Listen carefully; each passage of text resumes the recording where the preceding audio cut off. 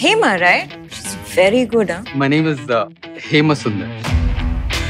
I had an idea. Shut the book. It's fresh.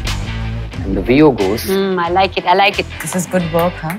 Nice to have you on the brand.